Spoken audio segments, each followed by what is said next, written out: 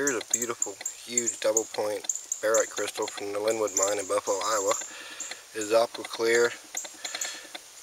It's just absolutely beautiful. It Has terminations on both sides.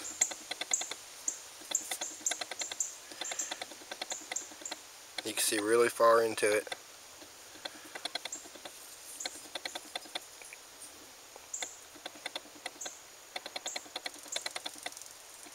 Has a few smaller barites attached to it.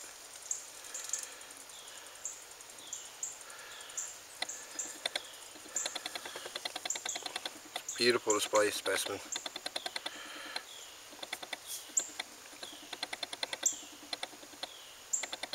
Specimens this nice and this location is very rare. You can see my finger through it to show you how clear it is. It's cloudy out right now.